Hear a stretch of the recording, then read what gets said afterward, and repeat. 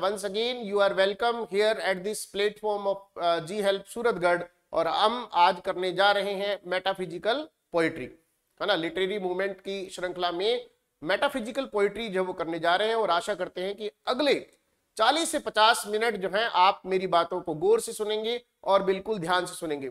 दोस्तों metaphysical poetry जो है या मेटाफिजिकल पोइट्स या जो मूवमेंट जो है आपका मेटाफिजिकल मूवमेंट जो है इसके बारे में हमें एग्ज़ाम में एक या दो question hundred and one percent मिलने की संभावना है और पक्का मिलने की संभावना है और इसलिए हमें इसको बड़ा ध्यान से करना है। हमें इस मोमेंट को बड़े ध्यान से, बड़े गौर से देखना है। सबसे पहली बात जो है मेटाफिजिकल पोइट्री जो है, उसको लेकर के मैं करना चाहूँगा, वो ये कि मेटाफिजिकल पोइट्री है क्या? है ना? मेटाफिजिकल पोइट्री जो है, वो दरअसल हुआ क्या था? सेवनटीन सेंचुरी के अंदर आप प्लीज़ मेरी बातों को बड़ा ध्यान से जो सुनेंगे, सत्रहवीं शताब्दी के अंदर जो है बिगनिंग में, सेवनटीन सेंचुरी के बिगनिंग में कुछ पोइट्स जो हैं, वो खास तरीके से जो वो लिखते थे। कुछ पोइट्स जो हैं, कुछ कवि जो हैं, वो खास तरीके से जो वो लिखते थे। उन कवियों को जो है, उनकी स्टाइल को देख करके, उनके कंटेंट को देख करके जो है हम ये कह सकते हैं कि भी उनकी पोइट्री जो है वो मेटाफिजिकल है। दरअसल इस टर्म का जो ओरिजिन है, और मैं श्योर हूँ इस बारे में जो है कि इसको लेकर के जो एग्ज़ाम में प्रश्न आएँगे, जो क्वेश्चंस आएँगे एग्ज़ाम में ओरिजिन से रिलेटेड रिलेटेड क्वेश्चंस जो है पक्का आएँगे। और बहुत सारे बच्चे जो हैं, जो डिफरेंट चैनल्स को डिफरेंट बुक्स को डिफरेंट मॉड्यूल्स को डिफरेंट नोट्स को फॉलो करते हैं, उनको इसके ओरिजिन से संबंधित संबंधित जो है वो दिक्कत आती है इनके इस टर्म के ओरिजिन से संबंधित जो क्वेश्चंस होते हैं, उनको करने में दिक्कत आती है। सबसे पहली चीज़ जो आपको पता होनी चाहिए, वो ये कि मेटाफिजिकल पोइट्स जो हैं, वो अर्ली सेवनटीन सेंचुरी के अंदर जो है, वो एग्जिस्ट करते हैं। एक विशेष प्रकार की कविता है, एक विशेष प्रकार का मूवमेंट है, एक विशेष प्रकार का स्कूल ऑफ़ पोइट्री है, जिसमें कवि जो है, कुछ अलग तरीके से उनसे पहले के जो लोग हैं, उनके जो प्रेडिसेसर्स जो हैं उनसे कुछ अलग तरीके से जो है वो पोइम जो है वो लिखते हैं। जो सबसे पहली बात तो मैंने आपको बताई कि एक group of seventeen century poets है ना whose works are marked by है ना philosophical exploration colloquial diction ingenious conceits irony and metrically flexible lines जो है। मतलब अगर ये हम इसको ध्यान से देखें पूरी की पूरी चीज़ को, ये जो सामने लिखा हुआ है फिलोसॉफिकल एक्सप्लोरेशन uh, जो है वो। माने एक तरह से ये फिलोसॉफिकल पोइट्री है। इसमें जो है आप फिलोसफी की बात करते हैं लाइफ की बात करते हैं है ना? और कोलोक्वियल uh, डिक्शन जो है खास करके इसकी जो स्टाइल जो है है ना? वार्तालाप का लहजा जो है इसमें रहता है है ना? Ingenious conceits irony and metrically flexible lines जो है कंसीड्स रहती हैं। कंसीड्स के बारे में भी हम डिटेल से बात करेंगे आराम से बात करेंगे। कुल मिलाकर के अभी तक के डिस्कशन में हमने दो चीज़ें जो है वो देखनी है। पहली चीज़ ये कि मेटाफिजिकल पॉइंट्स जो है वो अर्ली सेवनटीन सेंचुरी के अंदर जो है एग्जिस्ट करते हैं। और दूसरा, ये जो मूवमेंट जो है पर्टिकुलरली पोइट्स जो है, उनसे संबंधित है, सत्रहवीं शताब्दी के पोइट्स जो उनसे संबंधित हैं। और तीसरा जो है, ये एक विशेष प्रकार की कविता है, जो फिलोसफी ऑफ़ लाइफ जो है, उसको बताती भी सी प्रतीत होती है। अगर जो मैं एटिमोलॉजी जो है उसकी बात करूँ तो एटिमोलॉजी जो है इसकी, उसके बारे में सबसे पहले हम ये देखें कि मेटाफिजिकल में दो शब्द हैं। एक है मेटा और एक है आपका हाई मेटा जो है इसका मतलब होता है हायर या बियॉन्ड और एक है फ़िज़िकल और फ़िज़िकल का मतलब होता है आपका वर्ल्डली है ना? यानी ये poetry that deals with beyond earthly matters beyond worldly matters है ना? उसको हम मेटाफिजिकल पोइट्री जो है वो कह सकते हैं। है ना? एक ऐसी कविता जो बियॉन्ड वर्ल्डली मैटर्स जो है उनको डील करते हैं। अगर जो आप डिक्शनरी मीनिंग देखेंगे इसका मेटाफिजिकल का तो कहीं आपको इसका मतलब आध्यात्मिक मिलेगा, कहीं इसका मतलब रहस्यमयी मिलेगा, कहीं इसका मतलब जो है चिर सम्मत मिलेगा। हिंदी ट्रांसलेशन एक्चुअली ये जो वर्ड है मेटाफिजिकल ये दो शब्दों से बना है। पहला मेटा और दूसरा फ़िज़िकल मेटा माने होता है आपका बियॉन्ड या हायर और फ़िज़िकल माने होता है वर्ल्डली या अर्दली एक ऐसी कविता जो वर्ल्डली मैटर्स जो है, उनको डील ना करती हो। अब या बियॉन्ड वर्डली मैटर्स को हायर वर्डली मैटर्स जो उनको डील करती हो, उसको हम मेटाफिजिकल पोइट्री जो वो कहते हैं।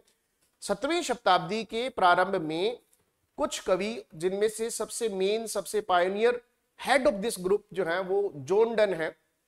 और जोन डन जो है 1572 जो है, उनका बर्थ है और 1631 जो है, उनकी डेथ है। जोनडन जो है, वो इस पूरे के पूरे ग्रुप को जो है लीड करते हैं। सबसे ऊपर अगर जो किसी मेटाफिजिकल पॉइंट का नाम लिया जाता है, हम लेते हैं तो वो जोनडन है। तो ये आप देखेंगे भी मेटाफिजिकल का मतलब क्या है? एक फिलोसफिकल पोइम है, जिसका संबंध जीवन के दर्शन से है है ना? अबो वर्ल्डली मैटर्स से है, और अबो वर्ल्डली मैटर्स क्या है? देखो अगर जी हम कहें कि kind of poetry that deals with the matters of life death है ना? दैट इज़ टू से सिन हेवन हेल है ना? स्वर्ग, नरक, पुण्य, पाप, है ना? नरक, है ना? अच्छाई, बुराई, इन सबसे अगर जो हम अगर जो देखें तो इससे इसका संबंध होता है मेटाफिजिकल पोइट्री का। लेकिन बाद में जाकर के ये देखा गया कि ये जो डेफिनेशन है वो कई मायनों में जो फिट नहीं बैठती है, इसके ऊपर जो है मेटाफिजिकल पोइट्री पर। अब तक के डिस्कशन में हमने जो चीज़ें तय की, वो ये, पहली ये कि अर्ली सेवनटीन सेंचुरी पोइम है पोइट्री जो लिखी गई थी अर्ली सेवनटीन सेंचुरी पोइट्स जो थे, जिनको जोनडन जो है वो लीड करते हैं, वो आपके मेटाफिजिकल पोइट्स हैं, इनकी कविता एक खास प्रकार की कविता है, विशेष प्रकार की कविता है। क्या क्या है इनकी कविता में, हम आगे देखने वाले हैं। नंबर दो मेटाफिजिकल जो है, इसकी एटमोलॉजी जो है वो क्या है? एटिमोलॉजी जो है, इसकी ये है कि मेटा का मतलब होता है हायर या बियॉन्ड और फ़िज़िकल का मतलब होता है वर्ल्डली यानी एक ऐसी कविता जो अबो अबव वर्ल्डली हो बियॉन्ड वर्ल्डली मैटर्स को डील करती हो। हेल हेवन स्वर्ग, नरक, पाप, पुण्य सिन पाप, है ना, इनके बारे में हो तो उसको हम मेटाफिजिकल पोइट्री जो वो कहते हैं, है ना? उसके बाद में जोनडन जो है है ना जिनका अगर जी लाइफ स्पैन अगर जी देखें 1572 टू 1631 वो इस मूवमेंट के पाइनियर फिगर हैं। आपको याद रखना होगा कि अगर जी मैं क्रोनोलॉजिकली देखूँ तो अगर जी हम देखें कि क्वीन एलिजाबेथ जो है उनका शासन जो है क्योंकि नेट पर एक क्वेश्चन मैंने देखा था कि डन किस किस के आ, काल में जो जिए तो 1558 टू 1603 जो है उनका काल रहा। जेम्स फ़र्स्ट जो है उनका काल रहा आपका 1620 1603 1603 टू 1625 और चार्ल्स फ़र्स्ट जो है, उनका जो स्पैन रहा, वो रहा 1625 टू 1649 इन तीन जो है रूलर्स जो हैं, उनके काल में जो है, वो डन एग्जिस्ट करते हैं। One of the questions that I just you can say on a website that was किन किन के जीवन काल में जॉन डन जो है वो एग्जिस्ट करते हैं, जो इस पूरे के पूरे मूवमेंट के पाइनियर फिगर हैं, उत्तर है। Elizabeth James first and Charles first जो है, उनके काल में जो रहते हैं। पंद्रह से 1603 1558 टू 1603 जो है वो एलिजाबेथ जो है एलिजाबेथ का शासन रहा। और जेम्स फ़र्स्ट जो है, आपका 1603 से 1625 और 1625 से सोलह चार्ल्स फ़र्स्ट जो उनका शासन रहा। इन तीन राजाओं के शासन काल में जो है जोन डन जो है एग्जिस्ट करते हैं। मेटाफिजिकल पोइट्री से ये डेट्स जो है, उनका कोई कनेक्शन नहीं है, लेकिन एक क्वेश्चन देखा था जिसको मैंने आपको बताया। कुछ और पोइट्स जो है, आपसे पूछा जाएगा एग्ज़ाम के अंदर which of the following is not a poet from the metaphysical school of John Donne निम्न में से कौन सा metaphysical school of John Donne को बिलोंग नहीं करता है तो आपको इसका उत्तर जो है, वो देना पड़ेगा। तो ये जो आपके पोइट्स हैं, जिसमें सबसे पहले हमने जोनडन को रखा है, जो हेड है पाइनियर है जॉर्ज हर्बर्ट जो उनको रखा है हेनरी वोन को रखा है एंड्रयू मार्वेल को रखा है रिचर्ड क्रेशू को रखा है और अब्राहम काउले जो है उनको रखा है। मतलब ये बड़े मेन हमारे जो है वो पोइट्स हैं और आपको इनको एक लाइन में ज़रूर इनका देखना है कि इनकी क्या स्पेशलिटी है। For example one of the websites I just you can say came across a question कि इनमें से कौन सा जो है, वो रिलीजियस मेटाफिजिकल पोइट्री जो है, उसको बिलोंग करता है और आंसर जो है, उसका था एंड्रयू मार्वेल एंड्रयू मार्वेल जो है, उसका उत्तर था। यानी वो रिलीजियस पोइट्री जो है, उसको जो है, वो लिखते हैं और ये सब के सब मेटाफिजिकल पोइट्स जो है, वो आपके हैं। मैं बार बार चीज़ों को रिवाइज करता हूँ रिपीट करता हूँ, सिर्फ़ इसलिए कि आप इसको समझ सकें। सबसे बड़ी बात सेवनटीन सेंचुरी के बिगिनिंग में ये एग्जिस्ट करते हैं, सारे के सारे जो है। सत्रहवीं शताब्दी के प्रारंभ में इस कविता को हम जो वो देखते हैं। एक विशेष प्रकार की कविता है, नए प्रकार की कविता है। ये कवि कुछ अलग तरीके से लिखते हैं और इसीलिए मेटाफिजिकल पॉइंट्स जो वो कहलाते हैं। मेटा मैंने अबो या बियॉन्ड होता है हायर होता है और वर्ल्डली का मतलब फ़िज़िकल का मतलब वर्ल्डली या अर्दली होता है। ऐसी कविता जो जीवन से हट करके जो है वो बात करती है, धर्म की बात करती है, अधर्म की, पाप की, पुण्य की, स्वर्ग की, नरक की, उसको हम मेटाफिजिकल पोइट्री कह सकते हैं। इस वर्ड के संदर्भ में, जबकि ऐसा है नहीं, ऐसा है नहीं, इस शब्द के संदर्भ में हम ऐसा देखते हैं। फिर उसके बाद में हमने कहा कि जॉन डन जो है, वो इस ग्रुप के पायनियर फिगर है, जो एलिजाबेथ जेम्स फ़र्स्ट और चार्ल्स फ़र्स्ट जो है, उनके शासनकाल के दौरान जो है वो एग्जिस्ट करते हैं। आपको बताया 1572 टू सिक्सटीन थर्टी वन जो है आपका, उनका लाइफ स्पैन है और इसी के अंदर वो एग्जिस्ट करते हैं और उसके अलावा जो पॉइंट्स हैं, उनमें जॉर्ज जॉन डन के अलावा जो पॉइंट्स हैं जॉर्ज हबर्ट है हेनरी वोन है एंड्रू मार्वेल है रिचर्ड क्रेशू है अब्राहम काउले हैं। आपको प्रश्न मिलेगा, निम्न में से कौन सा पॉइंट जो है मेटाफिजिकल नहीं है। दोस्तों, सबसे ज़्यादा दिक्कत आती है किस चीज़ में? सबसे ज़्यादा दिक्कत आती है इसके ओरिजिन को लेकर के कि भी ये टर्म आई कहाँ से। अगर जो हम, हमें एक सिंपल सा क्वेश्चन मिलता है कि who coined the term metaphysical poets या मेटाफिजिकल मेटाफिजिकल शब्द किसने कोइन किया मेटाफिजिकल पोइट शब्द किसने कोइन किया, है ना? तो उत्तर है आपका जो है वो डॉक्टर सैम्यूअल जॉनसन देखो, हुआ क्या था कि डॉक्टर सैम्यूअल जॉनसन ने lives of the most eminent English poets लिखा था। एक बहुत बड़ा work.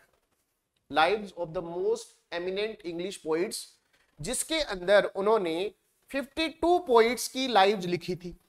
बावन कवियों की लाइव लाइव्स को लिखा था। ये भी बहुत अच्छा क्वेश्चन है।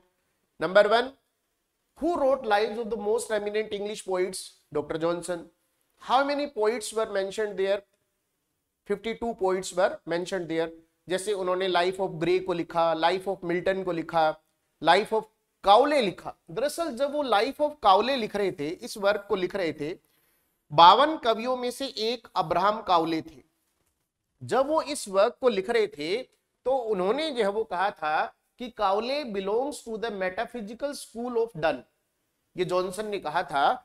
जॉनसन ने ये रिमार्क दिया था कि काउले जो है metaphysical school of John Donne को बिलोंग करते हैं। मतलब काउले के संदर्भ में काउले के बारे में उन्होंने कहा था कि ये डन के स्कूल से बिलोंग करते हैं डन की तरह कविता लिखते हैं। ये टर्म डॉक्टर जो, सैम्यूल जॉनसन ने कोइन करी थी। कहाँ करी थी? लाइफ ऑफ़ काउले में। लाइफ ऑफ़ काउले कहाँ पर है? Life of the most eminent English poets में है। किसने लिखा था? डॉक्टर जॉनसन ने। कितने कवियों के बारे में लिखा था? बावन फिफ्टी टू और कौन कौन से हैं? लाइफ ऑफ़ मिल्टन है लाइफ ऑफ़ ग्रे है, ठीक है? और लाइफ ऑफ़ काउले है लाइफ ऑफ़ शेक्सपियर नहीं है, ठीक है? तो कहने का तात्पर्य यह है कि बावन कवियों के बारे में उन्होंने लिखा था, बावन ऑथर्स के बारे में लिखा था, उनमें से एक अब्राहम कावले थे और जब वो अब्राहम कावले के लाइफ ऑफ़ कावले बायोग्राफी लिख रहे थे बायोग्राफी हुई ना? डॉक्टर जॉनसन लिख रहे हैं कावले के बारे में लिख रहे हैं तो ये बायोग्राफी लिख रहे हैं, न कि ऑटोबायोग्राफी तो उन्होंने जो है कावले की तुलना डन से कर दी और ये कहा कि belongs to the metaphysical school of John Donne भाई, उन्होंने इस मेटाफिजिकल टर्म को कोइन किया। एक्चुअली वो क्या कर रहे थे? वो उस समय वो जॉन ड्राइडन को क्या कर रहे थे? रेफर कर रहे थे। जॉन ड्राइडन ने सोलह में इससे पहले अपने वर्क जो है, जिस वर्क का नाम था डिस्कोर्स कंसर्निंग सेटायर कई बार आप डिस्कोर्स ऑन सेटायर भी लिख देते हैं। एम एच अब्राम में शायद डिस्कोर्स ऑन सेटायर जो है वो टर्म यूज़ किया है। डिस्कोर्स कंसर्निंग सेटायर जो है, इस वर्क को उन्होंने लिखा था। और जब उन्होंने इस वर्क को लिखा था तो उन्होंने डन के बारे में क्या कहा था? डन के बारे में उन्होंने कहा था he affects metaphysics not only in his satires but in his amorous verses बच्चों अमरस का मतलब होता है लवरी लविंग जैसे आम का रस मीठा होता है वैसे एमरस का मतलब क्या होता है? लविंग। भाई मतलब क्या हुआ इस रिमार्क का? कौन कह रहे हैं? किसके बारे में कह रहे हैं? जॉन ड्राइडन कह रहे हैं। डन के बारे में कह रहे हैं। ही अफेक्ट्स मेटाफिजिक्स यानी डन ने जो शब्द जो कोइन किया था, वो था मेटाफिजिक्स डन ने मेटाफिजिक्स शब्द कोइन किया था, न कि मेटाफिजिकल सॉरी ड्राइडन ने। ड्राइडन ने मेटाफिजिक्स शब्द जो है वो क्रिएट किया था न कि मेटाफिजिकल फिर ड्राइडन ने क्या कहा था कि Donne affects metaphysics not only satire भी अपने व्यंग जो होते हैं व्यंग जो है सेटायर जो है, उनमें मेटाफिजिक्स जो है, वो अगर जो डील करता है रेफर करता है तो तो कोई बात नहीं, व्यंग के अंदर। बल्कि अपनी एमरस वर्सेस के अंदर, यानी लव पोइम्स के अंदर अमरस वर्सेस का मतलब हो गया लव पोइम्स प्रेम कविताएँ। जोन डन अपनी प्रेम कविताओं के अंदर भी मेटाफिजिक्स का जो है वो यूज़ करता है मेटाफिजिक्स जो उसको यूज़ करता है। हुई बात क्लियर भाई मेटाफिजिकल टर्म किसने क्रिएट किया था? डॉक्टर जॉनसन ने किसकी बात कर रहे थे? काउले की। कहा? लाइफ ऑफ़ काउले में। लाइफ ऑफ़ काउले कहाँ पर है? है ना? Life of eminent English poets के अंदर है। किसने लिखा था? डॉक्टर जॉनसन ने। डॉक्टर जॉनसन ने जब कहा था कि Cowley belongs to the metaphysical school of John Donne तो उस समय वो ड्राइडन को रेफर कर रहे थे। ड्राइडन इससे पहले डन के बारे में कह चुके थे कि डन मेटाफिजिक्स जो है उसको अफेक्ट करता है। न केवल अपने व्यंग गीतों में, बल्कि अपने प्रेम गीतों में भी। लव पोइम्स के अंदर भी मेटाफिजिक्स जो है उसको रेफर करता है। तो जॉनसन ने ज़ाहिर सी बात है कि ड्राइडन का ये वर्क पढ़ा होगा। उसको पता होगा कि ड्राइडन ने डन के बारे में ये बात कही है। तो एक्चुअली ड्राइडन जो है, उसकी नज़र सबसे पहले गई थी। इनके ऊपर कि भाई इन्होंने जो है इस तरह की कविता जो है वो लिखी है, डन, और उसके जो कंटेम्प्रेरी पोइट्स थे, उन्होंने लिखी है। तो ये आपको ध्यान रखना है, कि जो, जब ये पूछे आपसे क्वेश्चन जो है, कि भाई, किसने कोइन किया था डॉक्टर जॉनसन ही उत्तर होगा। डन के बारे में किसने कहा था कि वो सबसे सबसे पहले मेटाफिजिकल पोइट्री को डन के संदर्भ में किसने जो बताया था? ड्राइडन ने बताया था। अब इस एक के अंदर एक ट्विस्ट और आता है। ये नाम आपको बार बार जो है मिलेगा। ड्रमंड ऑफ़ होथोनडेन जो है ये ये नाम कहाँ से आया? आजकल डिफरेंट जो क्वेश्चंस हैं हमारी टेस्ट सीरीज़ में ये छाया रहता है। दरअसल ये जो है सिक्सटीन सेंचुरी की आ, जो है एक ऑथर है हैं। आधे से ज़्यादा लोगों को तो ये पता ही नहीं है। वेबसाइट्स पे भी आप देखना ये कितनी भारी भरकम गड़बड़ी मिलती है कि ये पुरुष नहीं महिला है। ये फीमेल है, पहली बात। दरअसल ये सिक्सटीन सेंचुरी एक ऑथर है, इनके फादर भी एक बहुत बड़े ऑथर थे, ठीक है? फिफ्टीन समथिंग के अंदर इनका जन्म हुआ था, पंद्रह सौ इक्यानवे में, हम सेवनटीन सेंचुरी भी मान सकते हैं इनको। ये जो जो है ड्रोमंड ऑफ़ होथोन डेन जो है, उन्होंने क्या कहा था?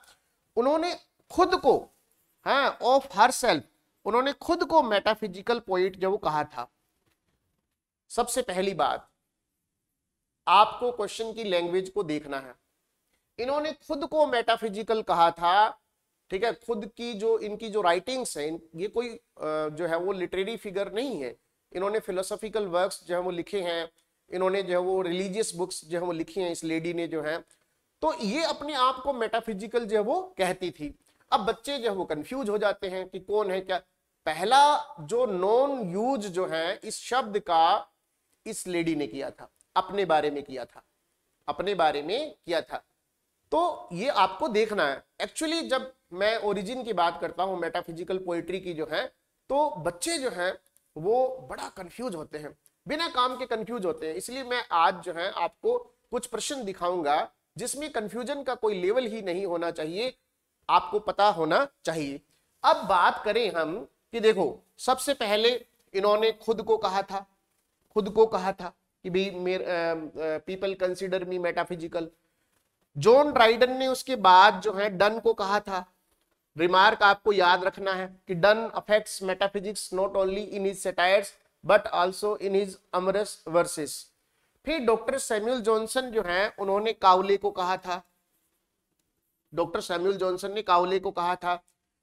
ड्राइडन ने किस वर्क में कहा था?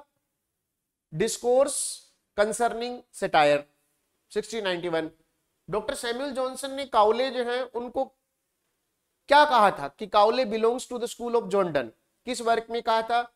लाइफ ऑफ़ काउले में कहा था। लाइफ ऑफ़ काउले कहाँ पर है? Lives of the most eminent English poets में है। अब ये तीनों आपके सामने हैं। देखो ओरिजिन से संबंधित कभी भी आप कंफ्यूज नहीं होना। मैं कुछ क्वेश्चंस दिखाता हूँ आपको। जरा ध्यान से देखना, है ना? अगला नाम मैंने जोड़ा है इसमें टी एस इलियट का। बीसवीं शताब्दी में टी एस इलियट ने एक ऐसे लिखा था द मेटाफिजिकल पॉइंट्स और उन्होंने इसके बारे में खूब बातें जो की थी। तो चार लोग मैंने यहाँ पर लिखे। इन्होंने खुद को मेटाफिजिकल कहा था जॉन राइडन ने डन को कहा था डॉक्टर सैमुअल जॉनसन ने काउले जो है उनको कहा था, और टी एस इलियट जो है, उन्होंने एक ऐसे लिखा था द मेटाफिजिकल पोइट्स जिसके बारे में उन्होंने मेटाफिजिकल पोइट्री के बारे में बातें की थी। एक्चुअली जो क्वेश्चन है, इतने क्लियर होते हैं कि आपको कंफ्यूज होने की कोई ज़रूरत नहीं है। उदाहरण के लिए, अगर ये प्रश्न आता है कि what was the name of the poet who created the term metaphysical poets या मेटाफिजिकल टर्म है ना? क्रिएटेड शब्द आ जाए कोइंड आ जाए, ठीक है? किसने कोइंड किया? किसने जो है वो आपका क्रिएट किया? यहाँ पे जो है आपका, ये वाली लेडी का तो ऑप्शन ही नहीं है, चार प्रश्न में। तो यहाँ पर हु कोइंड और क्रिएटेड द टर्म उत्तर होगा आपका सैम्यूल जॉनसन। ये इसका उत्तर जो होगा, कोई कंफ्यूजन नहीं है। किसने कोइन किया, किसने क्रिएट किया मेटाफिजिकल शब्द को? डॉक्टर सैमुअल जॉनसन ने किया था इन कवियों के संदर्भ में। ड्राइडन ने मेटाफिजिक्स शब्द की क्रिएट किया था। अब देखिए इस वाक्य को कि from the following poet said about John Donne एक पोइट ने जोनडन के बारे में कहा था। क्या कहा था? कि he affects the metaphysics not only in satires but also in his amorous verses where nature only should reign है ना? पूरा रिमार्क है। अब पूछा है कि किसने कहा था? ये बात तो जॉन ड्राइडन ने कही थी। ये बात तो जॉन ड्राइडन ने कही थी। अब आपको उलझाने के लिए एक क्वेश्चन ये बना सकता है कि who called John Donne a metaphysical poet first सबसे पहले जॉन डन को मेटाफिजिकल पोइट किसने कहा था? ड्राइडन ने कहा था। कोई सवाल ही नहीं है, कोई क्वेश्चन ही नहीं, कोई डाउट ही नहीं, कोई संदेह ही नहीं इसके ऊपर, है ना? तो आप प्रश्न को समझिए और ओरिजिन से रिलेटेड जो क्वेश्चंस हैं, उनके अंदर कभी कंफ्यूज ना हो। अब देखिए आप हाउ इज़ ड्रोमोंड ऑफ़ होथोडेन एसोसिएटेड विद मेटाफिजिकल पॉइंट्स ये मेटाफिजिकल पॉइंट्स के साथ कैसे एसोसिएटेड है? नंबर वन इनका जो लाइफ स्पैन है, वो इतना पहले है, इनसे सौ साल पहले है। लगभग सौ साल पहले पैदा हुई थी ये लेडी आधे से यहाँ देख लो आप, ये ही शब्द यूज़ कर रहा है यहाँ पर। आप देखो विकीपीडिया पर ये ही है कि शी है। मैंने किसी वेबसाइट से एज क्वेश्चन उठाया है। अब आप देखिए, हैं he is considered to be the only writer before Dryden to speak of metaphysical poet है ना? शी इज़ कंसिडर्ड ये इसका उत्तर है, कि ड्राइडन से पहले किसने बोला था? मैंने देखो, आपको पहले ही चीज़ें बता दी हैं, ये क्रम देखो। जॉन ड्राइडन सबसे पहले आप देखो, ये इसने सबसे पहले कहा था, फिर ड्राइडन ने, फिर डॉक्टर सैमुअल जॉनसन ने, और लास्ट में टी एस इलियट ने कहा था। ये जो वर्क्स जो है, खासकर इन तीनों के वर्क्स, जॉन ड्राइडन ने कहा पे कहा था, ठीक है? आपका डिस्कोर्स डिस्कोर्स का मतलब होता है डिस्कशन। डिस्कोर्स कंसर्निंग सेटायर के अंदर कहा था, डॉक्टर सैमुअल जॉनसन ने लाइफ ऑफ़ काउले में कहा था, और टी एस इलियट ने मेटाफिजिकल पॉइंट्स एक ऐसे जो वो लिखा था, है ना? कंफ्यूज नहीं होना है क्वेश्चंस जो है उसकी लैंग्वेज को सीखना है। भी किसने जो है आपका कोइन किया क्रिएट किया डॉक्टर सैमुअल जॉनसन ने? ठीक है? ये रिमार्क किसका है? ड्राइडन का है। डन के संदर्भ में सबसे पहले किसने यूज़ किया था? ड्राइडन ने किया था। है ना? और ये था कि ड्राइडन से पहले किसने इस शब्द को यूज़ किया था? अच्छा अब एक बात बताओ। उन्होंने मेटाफिजिकल शब्द जो है वो यूज़ किया था, अपने लिए किया था। आप एक बात बताओ। क्या ड्रोमोन्ड जो है वो डन को रेफर कर रही थी या सेवनटीन सेंचुरी पोइट्स को रेफर कर रही थी क्या वो? बिल्कुल नहीं कर रही थी। वो तो सौ साल पहले पैदा हुई है। ये सौ साल बाद आए हैं मेटाफिजिकल पोइट्स जो है। तो ज़ाहिर सी बात है कि जब मेटाफिजिकल पोइट्स का ज़िक्र होगा तो उनके बाद में आने वाले क्रिटिक्स जो है ना, वो तो वो ना तो ये बताएँगे कि ये कौन है, कहाँ से आए हैं। तो जब आपको ये तीन नाम मिले तो आप कंफ्यूज बिल्कुल मत होना। सेकंड ग्रेड के विद्यार्थी हो, अभी थोड़ा समय परीक्षा में आपका अपियर होना है क्वेश्चन की लैंग्वेज को समझना, पूरी कहानी बैकग्राउंड की ओरिजिन की एटमोलॉजी जो है उसकी मैंने आपको बता दी, है ना दोस्तों? अब आते हैं करेक्टरिस्टिक फीचर्स की तरफ़। भाई, इसके फीचर्स क्या है? जैसे शुरू में हमने बात की कि मेटाफिजिकल पोइट्री जो है आपकी, वो मेटाफिजिकल है ना? मेटा का मतलब हायर बियॉन्ड और फ़िज़िकल का मतलब वर्ल्डली दरअसल, जब हम इस डेफिनेशन को देखते हैं कि एक ऐसी कविता जो वर्ल्डली मैटर से दूर हो, सांसारिकता से दूर हो, जीवन, मृत्यु, स्वर्ग, नरक, इनकी बात करती हो, वो मेटाफिजिकल पोइट है तो दरअसल जब हम जोन को, जोन डन को पढ़ते हैं तो हमें ऐसा कुछ लगता नहीं है, क्योंकि वो तो प्रेम की बात करता है लव की बात करता है लवर्स की बात करता है तो हम कैसे कह सकते हैं कि वो मेटाफिजिकल है? टी एस इलियट ने भी इस चीज़ को बताया था कि मेटाफिजिकल पोइट्स जो हैं वो आपके मेटाफिजिकल हैं अपने कंटेंट या सब्जेक्ट मैटर की वजह से नहीं अपनी स्टाइल की वजह से। इनकी जो स्टाइल है बड़ी अलग है। सबसे पहली बात ये चूँकि ये एक रैनेसा का दौर था पुनर्जागरण जो है वो अपने पूरे चरम पर था तो ये जो पोइट्स थे आपके है ना ये लर्निंग को शो करते रहते थे। जैसे पुनर्जागरण के समय में खूब सारे आविष्कार हो रहे थे है ना यानी पहले आ, हम ये मानते थे कि पृथ्वी जो है वो सूर्य के चारों तरफ़ चक्कर नहीं लगाती है। सूर्य पृथ्वी के चारों तरफ़ चक्कर लगाता है है ना? गैलीलियो है, ठीक है? और जितने भी लोग हैं, आविष्कार हुए थे इस इस इस पूरे लाइफ स्पैन में तो ये लोग क्या थे? ये ये विद्वान लोग थे, बुद्धिमान लोग थे, ठीक है? अब ये क्या करते थे? जब आसपास इतने इनके आविष्कार हो रहे थे तो वो अपनी जो लर्निंग होती थी, उसको वो शो ऑफ़ करते थे, दिखावा करते थे उसका। हालाँकि देखा जाए तो ये एक नेगेटिव फीचर है कि जब आप अपनी लर्निंग का दिखावा करते हैं, ठीक है, बहुत सारे मैंने ऐसे लोग देखे हैं, बच्चे भी स्टूडेंट्स भी होते हैं टीचर्स भी होते हैं, है ना, जो अपनी लर्निंग जो है, उसके दिखावे के चक्कर में जो है एग्ज़ाम के अंदर क्या पूछ रहा है, उससे भटक जाते हैं। उनका पूरा का पूरा ध्यान जो है, वो अपनी लर्निंग को शो करने के ऊपर होता है, ठीक है एग्ज़ाम जाए भाड़ में। एग्ज़ाम जो है, उससे उनको कोई लेना उनका मकसद ये है कि we should be considered the best one है ना? कई बार हम भी करते हैं। मेरे दिमाग में भी कई बार जो है वो इस तरह की चीज़ आ जाती, नहीं, अरे भाई, एग्ज़ाम को कंसंट्रेट करो। ये लोग क्या थे? है ना? सबसे पहली बात they were the man of learning ये लोग जो हैं, आपके मैन ऑफ़ लर्निंग थे, बुद्धिमान लोग थे। अपने आसपास जो चीज़ें घटित हो रही थी, उनको ऑब्ज़र्व करते थे। ठीक है? अब जॉन अपनी किसी कविता में कहता है कि the souls of the two lovers merge with each other in the same way as the two chemicals merge with each other mingle with each other दो प्रेमियों की आत्माएँ आपस में मिल गई। कैसे मिल गई? जैसे दो केमिकल्स मिलते हैं सोडियम और क्लोराइड मिलते हैं। अरे भाई, तुम प्रेम की बात कर रहे हो कि साइंस की बात कर रहे हो? ये ऐसे ही करते थे, ठीक है? कभी वो दो प्रेमियों की तुलनाएँ जो है, वो कंपास जो है उसकी लेग कंपस जो है उसकी लेग्स के साथ कर देते थे। Two legs of a compass प्रकार जो है, प्रकार देखा है? उसकी दो लेग्स के साथ उसकी तुलना कर देते थे। तो ये अपनी लर्निंग को शो करते रहते थे, है ना? शो बहुत ज़्यादा करते थे। अपनी लर्निंग जो है, अपने ज्ञान जो है, उसका दिखावा बहुत ज़्यादा करते थे कि they were the man of learning and to show their learning was their whole endeavour doctor Johnson जो है, उन्होंने ये रिमार्क जो दिया था कि वो मैन ऑफ़ लर्निंग थे। कई बार बच्चों को ये भी नहीं पता होता है कि ये रिमार्क भी एग्ज़ाम में आता है। उनको लगता है, क्यों आता है? अरे भाई मेटाफिजिकल पोइट्री की डेफिनेशन है। मेटाफिजिकल पोइट्री जो है, उसका पूरा का पूरा इसेंस जो है, उसको समराइज कर देता है ये रिमार्क जो है। ये लोग मैन ऑफ़ लर्निंग थे। और ये क्या करते थे? अपने ज्ञान का दिखावा करते थे। कभी हॉर्टिकल्चर बागवानी, कभी केमिस्ट्री यानी रसायन विज्ञान, कभी बायोलॉजी कभी फिजिक्स कभी कुछ, जो भी उनको दिखता था पोइट्री में ले आते थे। पोइम लिख देते थे उसके ऊपर। अब पोइम लव की होती थी कंटेंट जो है उसके अंदर ये चीज़ें मिक्स हो जाती थी तो एक नए प्रकार की कविता पैदा होती है और यही नए प्रकार की कविता जो है आपकी मेटाफिजिकल पोइम है। पहले लोग ऐसा करते नहीं थे। इससे पहले के जो पोइट्स थे एडमंड स्पेंसर हैं, इनसे पहले जो है, इस तरह के जो कवि थे शेक्सपियर हैं, वो ऐसा करते नहीं थे। अब ये क्या करते थे? प्रेम के साथ में ज्ञान विज्ञान मिला दिए है ना? तो एक नए प्रकार की कविता जो है वो, एक नोवेल पोइम जो है वो इसके अंदर जो है वो हमें देखने को मिलती है। यही आपकी मेटाफिजिकल पोइम है। अब बात करते हैं, है ना द यूज़ ऑफ़ कंसीट्स जो है। मतलब देखिए कंसीट्स क्या है? वियर्ड कंपेरिजन जो है उनको हम, और वियर्ड का मतलब होता है आपका स्ट्रेंज स्ट्रेंज कंपेरिजन जो है, यहाँ पर होते हैं। समझे?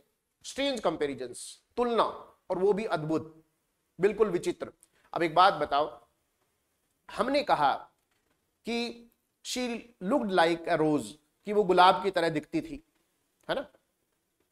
वो गुलाब की तरह दिखती थी। तो वो जो कंपैरिजन है दैट इज़ कोल्ड एसिमिली अगर हम कहेंगे कि she was a rose my love was like a red red rose तो हो गया मेटाफर लेकिन यहाँ पर क्या होता है, जब कंपैरिजन किया जाता है तो वो इतना वेयर्ड होता है, इतना स्ट्रेंज होता है कि हम कॉमन पॉइंट नहीं बता सकते। अब किसी ने कहा कि she looked like a rose कि वो गुलाब की तरह दिखती हैं तो कॉमन पॉइंट क्या है दोनों में बताओ? सुंदरता ब्यूटी आप बता सकते हैं। जब कंपैरिजन जो है, दो चीज़ों में किया जा रहा हो ही इज़ ए टाइगर आपको पता है कॉमन पॉइंट क्या है? एनर्जी सोर्स स्ट्रेंथ पावर लेकिन जब आप कॉमन पॉइंट बता ना सको स्ट्रेंज कंपेरिजन जो है वो करो आप। जैसे क्या किया ठीक है? कंसीड किसको कहते हैं? कंसीड एक तरह की तुलना होती है। अब तुलना कैसी तुलना होती है? बड़ी विशेष तुलना होती है, अलग तुलना होती है, विचित्र तुलना होती है। जॉन डन क्या करते हैं? ये एक प्रकार है। है ना? कंपास है। कंपस कंपास नहीं कंपस अब ये जो है कंपास जो है आपका,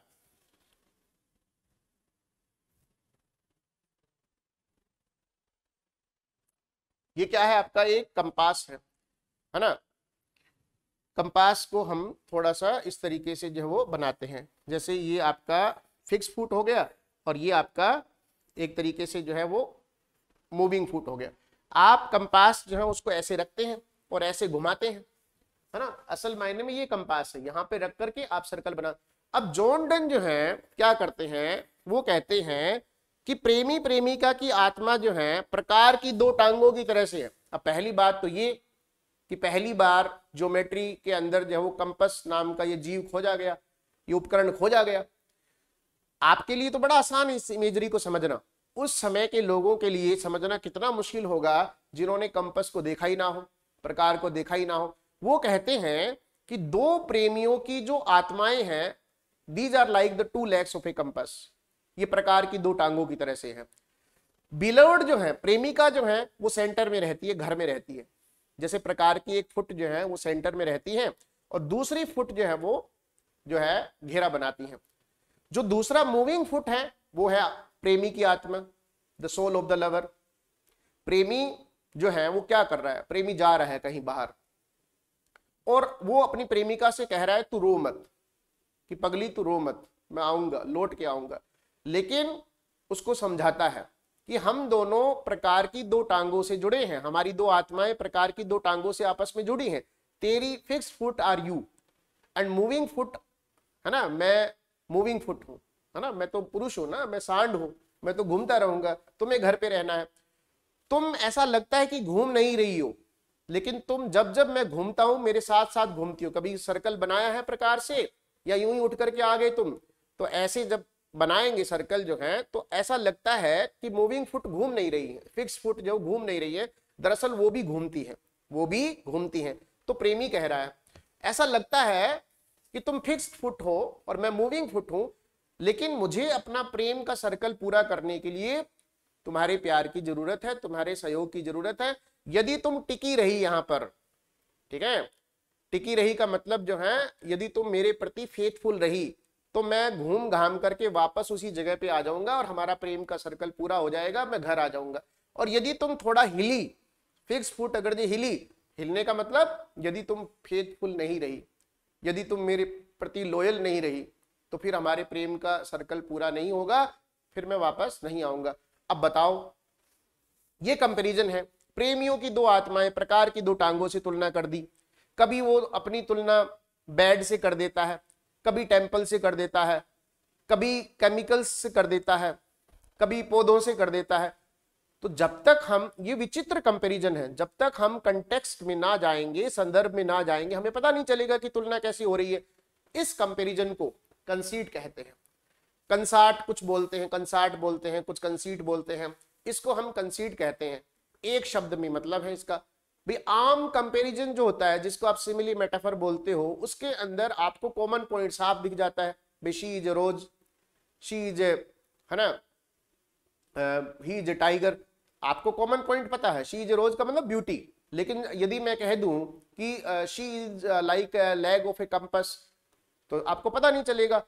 इरेगुलर कंपेरिजन को हम कंसीड कहते हैं, और मेटाफिजिकल पोएट्री के अंदर जो कंसीड बहुत ज़्यादा यूज़ होती हैं जॉन डन की ये जो कंसीट है कंसीट ऑफ़ कंपस ये बहुत ज़्यादा फ़ेमस है। आपसे पूछेंगे कि किसने यूज़ किया इस कंसीट ऑफ़ कंपस को? जॉन डन ने किया। आपसे पूछेंगे कि फिक्स फुट क्या थी? बिलवर्ड थी। आपसे पूछेंगे कि मूविंग फुट क्या था? लवर था। आपसे पूछेंगे कि कौन सी पोइम में जो करा था? है ना? पोइम का नाम था वेलिडिक्शन फॉर बिडिंग मॉर्निंग शिव, ये नाम दिख रहा है नीचे? वेलिडिक्शन फॉर बिडिंग मॉर्निंग जो है, ये आपका इस पोइम का नाम था। वैलिडिक्शन का मतलब होता है, दोस्तों, विदाई। प्रेमी प्रेमिका से विदाई ले रहा है। फॉरबिडिंग का मतलब मॉर्निंग फॉरबिडिंग का मतलब मना करना। और मॉर्निंग का मतलब होता है विलाप करना। प्रेमी जा रहा है। प्रेमिका को कह रहा है कि तू रोना मत। मॉर्निंग यानी विलाप करना। मॉर्निंग सुबह नहीं एम ओ यू आर विलाप करना।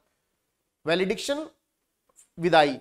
फॉरबिडिंग मना करना। मॉर्निंग विलाप करने से, प्रेमी प्रेमिका को विलाप करने से मना करता है जब वो जा रहा है फेयरवेल कर रहा है वैलिडिक्शन पे जा रहा है वैलिडिक्शन वैलिडिक्ट हो रहा है वहाँ से डिपार्ट हो रहा है तो वो क्या करता है, वो अपनी प्रेमिका को कहता है कि तू जो है वो रो मत, रोना मत, है ना?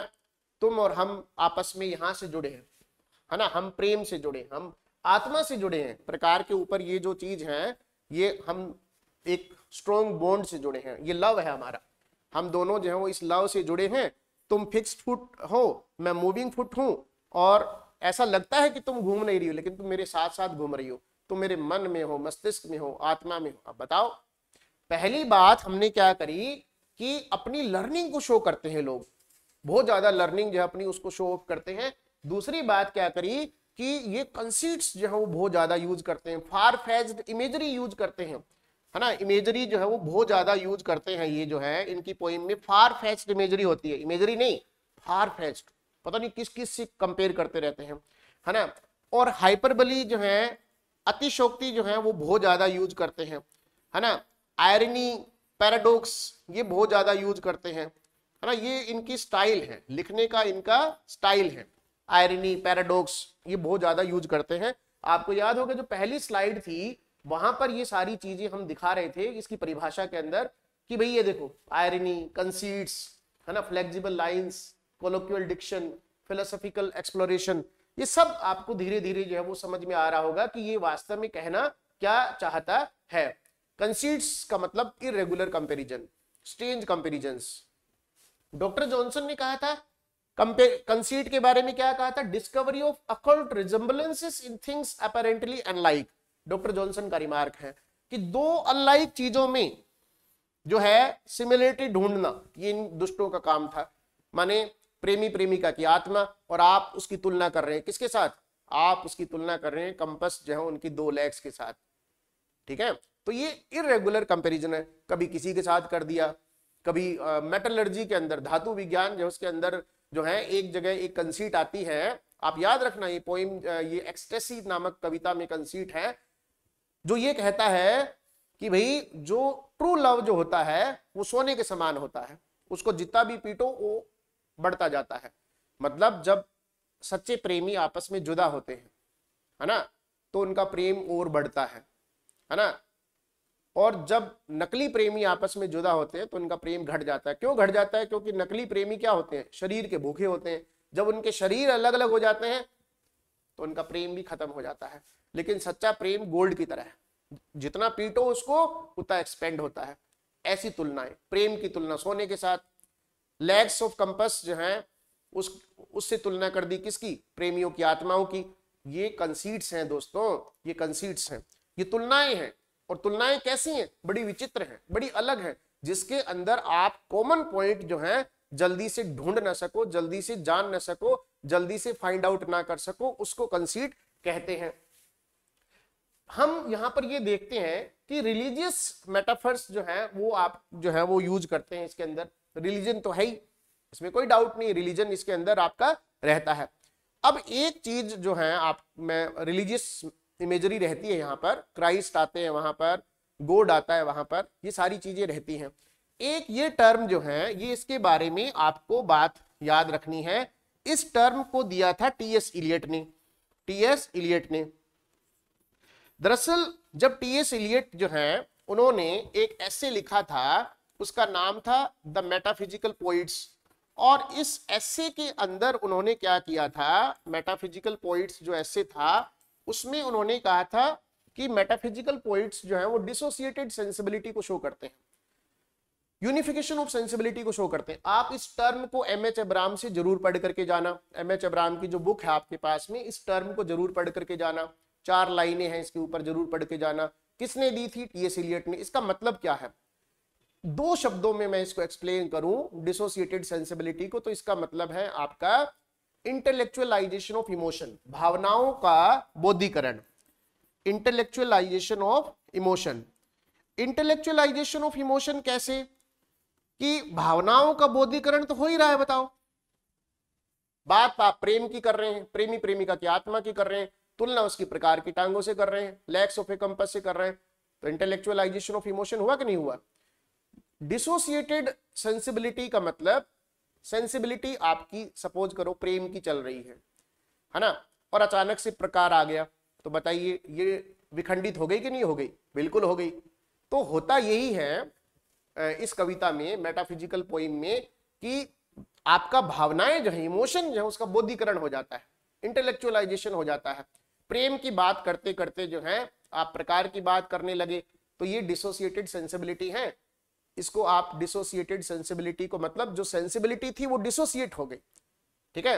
वो एक तरीके से जो वो डिजोल्यूट हो जाती है, खत्म हो जाती है। प्रेम की भावनाएँ जो है, वो प्रकार आने से जो विखंडित हो जाती हैं। विलुप्त हो जाती है, खत्म हो जाती है। तो ये डिसोसिएटेड सेंसिबिलिटी टर्म किसने दिया था? टी एस इलियट ने दिया था। इसको हमने फीचर के अंदर ये जो रखा है। ये एक नोवेल मेटाफिजिकल पोएट्री जो नोवेल है मतलब न्यू है। आप देखो ना इसकी स्टाइल पहले शेक्सपियर लिखते थे, इनसे पहले स्पेंसर लिखते थे एडमंड स्पेंसर जो लिखते थे, बहुत सारे पोइट थे, उन्होंने लिखा। मेन चीज़ ये है कि इन्होंने एक नए प्रकार की कविता जो थॉट एंड एक्सप्रेशन दोनों। भाई, इनका जो कंटेंट था कंटेंट में क्या था? मिस्टिसिज्म है, उसके अंदर रहस्यवाद है प्लस जो है, आपका लव है प्लस रिलीजन है रिलीजन है, ये सारी चीज़ें हैं इनके कंटेंट में। और एक्सप्रेशन एक्सप्रेशन के अंदर आप देखिए, किस तरह से एक्सप्रेस करते हैं? कंसीट यूज़ करते हैं हाइपरबली यूज़ करते हैं एक्सप्रेशन इनके बिल्कुल अलग होते हैं। आयरनी यूज़ करते हैं पैराडॉक्स यूज़ करते हैं। यानी थॉट और एक्सप्रेशन दोनों में एक तरह से नए प्रकार की कविता है। दोनों में ही ये एक तरह से नए प्रकार की कविता है। तो दोस्तों, ये सारी चीज़ें जो है, आपको मेटाफिजिकल जो है, और इसके कारण जब ये नए तरह की कविता जिसमें थॉट और एक्सप्रेशन के अंदर जो इंटेलेक्चुअलाइजेशन ऑफ़ इमोशन होता है डिसोसिएटेड सेंसिबिलिटी होती है, अपनी लर्निंग का बखान करते हैं, आपके लिए तो कंपास बहुत इजी है उसको देखना। आप देख चुके हैं उस जमाने के लोग। जिस जमाने के लोग ये मानते थे कि सूर्य जो है पृथ्वी के चारों तरफ़ चक्कर लगाता है और अचानक से ये पता चले कि नहीं, पृथ्वी सूर्य के चारों तरफ़ चक्कर लगाती है तो कितना कंफ्यूज होंगे वो। अरे, ऐसे कैसे? कंपास उन्होंने देखा नहीं केमिस्ट्री का उनको नॉलेज नहीं, है ना? तो जितने भी आविष्कार हो रहे थे उस जमाने में, वो सारे के सारे इन्होंने पोइट्री में डाल दिए। अपना लर्निंग जो है उसको शो ऑफ़ करने के लिए। मैंने बताया आपको, आज भी बहुत सारे लोग करते हैं। कई बार हमारे अंदर भी जो है मेटाफिजिकल पॉइंट्स जो उनकी आत्मा घुस जाती है और हम भूल जाते हैं कि बच्चे को एग्ज़ाम पास करवाना है, उसको नॉलेज नहीं देना है। ज्ञान अपने आप ले लेगा वो। अगर जो उसमें इच्छा होगी तो ज्ञान अपने आप ले लेगा। उसको परीक्षा पास कराना है। भूल जाते हैं कई बार हम। तो कहने का मतलब जो है, ये लोग भी ऐसे ही थे। अपनी लर्निंग जो है, उसका बखान करते रहते थे। अपनी लर्निंग जो है, उसके बारे में जो है मतलब बताते रहते थे। बात प्रेम की चल रही है। आ रहा है कंपास। शर्म आनी चाहिए तुम लोगों को। है ना? कहाँ प्रेम, प्रेमिका है? कहाँ रोमांटिक सॉन्ग जो है, वो चल रहा हो, एक जो है वो, तुम ही हो, तुम ही हो। और बीच में आकर के जो है वो बता दे आपको जो है है कि यूक्रेन और रशिया जो है उसका युद्ध जो हो गया है। हमें क्या लेना देना यूक्रेन और रशिया से भाई? है? हमें तो गाना चला के दो, तुम ही हो। अच्छा तो ऑब्सक्योरिटी अपने आप आ जाती है है ना? उस समय के लोगों के लिए ये कंटेंट कितना ज़्यादा मुश्किल रहा होगा, आप जो हो इसको समझिए। तो कुल मिलाकर के ये सारी चीज़ें जो हैं, हम अगर ये समअप करें, इस चीज़ को जो है मेटाफिजिकल पोइट्री को विद इन फाइव मिनट्स में बताऊँगा। सबसे पहले मेटाफिजिकल पोइट्री सेवनटीन सेंचुरी के बिगनिंग में ये पोइट्स जो है एग्जिस्ट करते हैं। जॉनडन इनका पायनियर फिगर है। अदर पोइट्स में Henry Vaughan Andrew Marvell Abraham Cowley Richard Crashaw ये सब आते हैं। ये सारे के सारे पोइट्स एक ही तरह से लिखते हैं। इनकी पोइट्री में लव भी है रिलीजन भी है मिस्टिसिज्म भी है।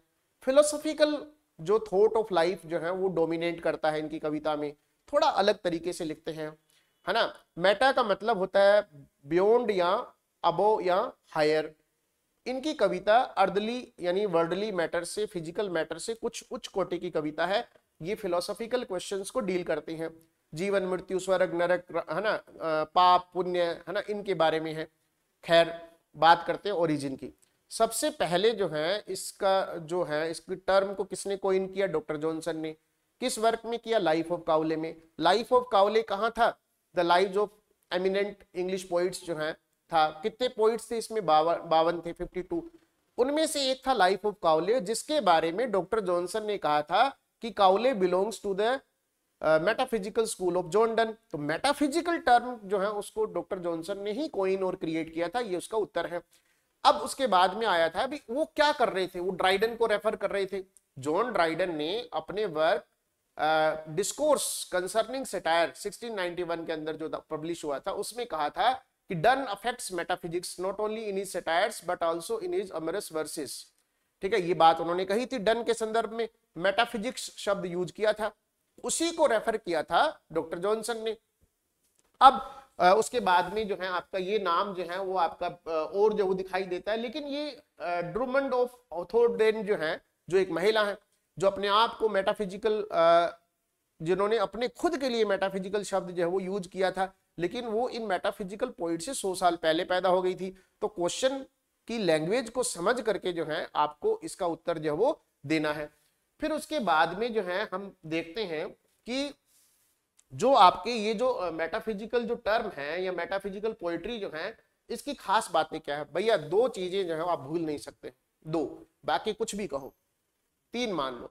पहली शो ऑफ़ लर्निंग ये अपनी लर्निंग का बहुत ज़्यादा बखान करते हैं। जैसे कि डॉक्टर सोनसन ने कहा था ना कि they were the man of learning and to show their learning was their whole endeavour तो ये कहने के पीछे कारण क्या था डॉक्टर जॉनसन का कि ये दुष्ट लोग जो हैं, अपनी प्रेम कविता के अंदर भी जो अपनी लर्निंग का बखान करते रहते हैं। दूसरा कंसीट कंसीट क्या है?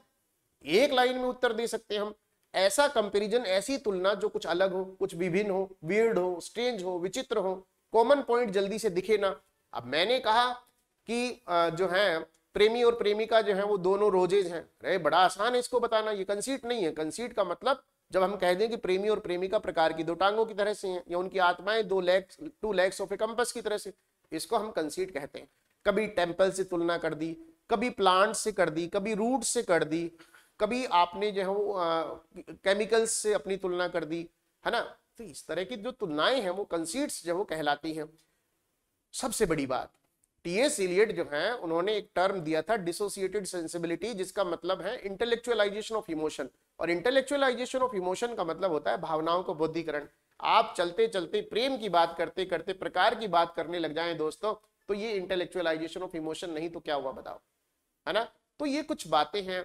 अब जो जो इस वीडियो को जो है, उस ऑफलाइन मोड में, यूट्यूब पर जो जो देख रहे होंगे इस वीडियो को जो है है ना, एक क्विज जो है मेटाफिजिकल पोइट्री जो है, उसके ऊपर एक क्विज जो हम प्लान कर रहे हैं और आपको ये क्विज जो है है ना, ये मिले, मिलेगा आपको जल्द ही, ज़रूर उसको करें और मैं उसके अंदर जितने भी अच्छे अच्छे क्वेश्चन है मेटाफिजिकल पोइट्री के, हमारे मॉड्यूल में हमने 10 12 15 20 क्वेश्चन डाले हैं, लेकिन अब लगभग 50 के करीब क्वेश्चन हम इधर उधर से जो है वो कबाड़ेंगे आपके लिए और उससे बाहर कोई क्वेश्चन इसमें से जाएगा नहीं। आप अगर जो उसमें कर लेंगे ये वीडियो देख लिया प्लस वो क्विज कर दिया। मेटाफिजिकल पोइट्री का क्वेश्चन इससे बाहर जा नहीं सकता ये हमारी गारंटी है। अगर ये जाएगा तो आप बता देना अगली बार बोलना छोड़ देंगे। इससे ज़्यादा तो क्या कर सकते हैं तो दोस्तों एक बार फिर से आपका धन्यवाद। इतने लंबे आ, समय तक मुझे सुनने के लिए और मैं आशा करता हूँ कि आपका ये सेशन बड़ा फ्रूटफुल रहा होगा। और आपने इस सेशन के माध्यम से बहुत कुछ जो आज सीखा होगा।